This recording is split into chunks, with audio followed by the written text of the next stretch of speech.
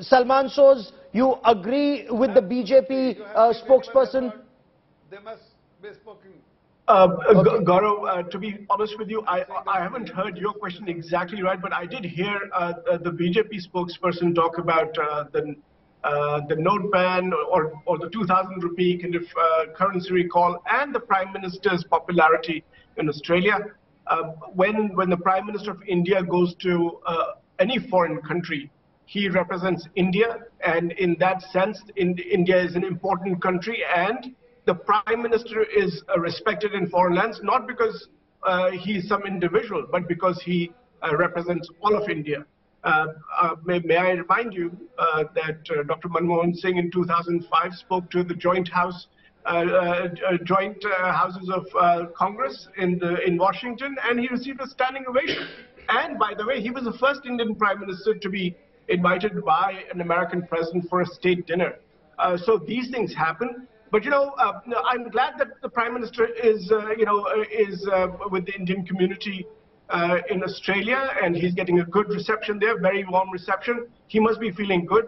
He did get a lot of, uh, get a, a, very warm reception in Karnataka as well, but unfortunately that did not translate into uh, victory for the BJP. Uh, and there are reasons for that, because the reasons are okay. that people, I think, it is my view, that uh, people ultimately want improvements in their living standards. And you know, okay. I know the Prime Minister talked about how India is number one in milk production, India's uh, banking sector is really uh, strong, etc. But may I remind the audience uh, that India was already number two and catching up to America in milk production in 2014. May I remind the Prime Minister that Indian banks, public sector banks, have written off 121 billion, B for billion, dollars of loans in the last five years. Maybe he should not be talking about the banking sector in a foreign country. And by the way, when Syed you go to a foreign country, I think the, no, no, let me just finish. One go final on. thought. Can I make one final I will comment? respond of to course, that as well. Of course. Go on, sir. Salman Soz, please complete your point. Just sir. one final thing. And you know, again, to our friend from the BJP, to the audience, I just want everybody to note that this is an Indian Prime Minister. He's not bigger than India. He's part of India and he represents India. If he gets izzat, respect, it is because he's our prime minister. He's India's prime minister. Fair not enough. because he's bigger than uh, the country.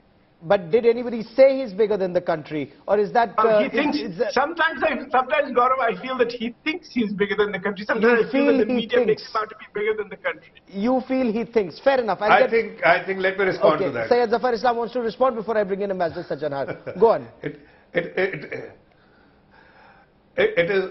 It is not him who thinks he always thinks the country is the highest priority, everyone should prioritize country first, and he always prioritizes his country first.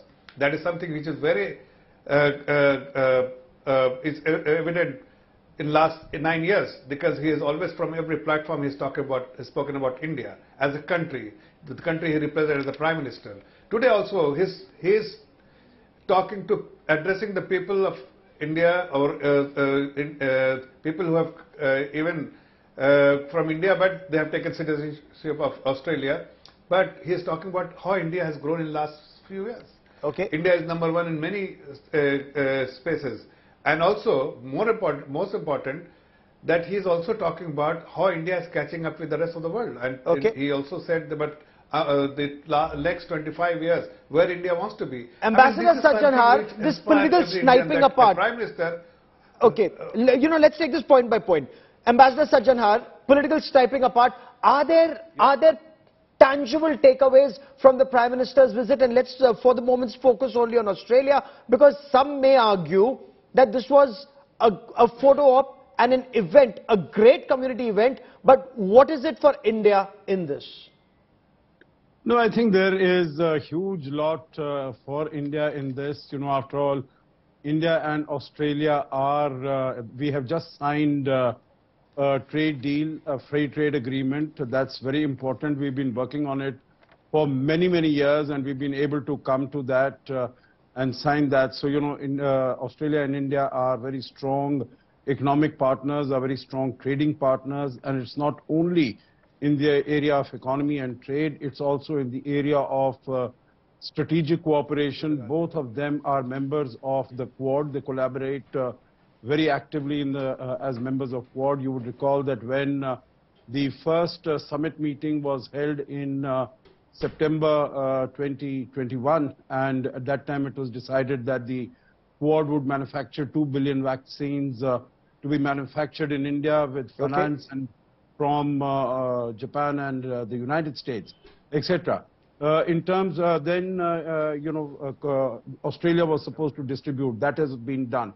So there are many areas in which the two countries are collaborating. Also, we are going to see the Malabar exercises being organized. Now they are going to be organized near the coast of uh, Okay. Australia.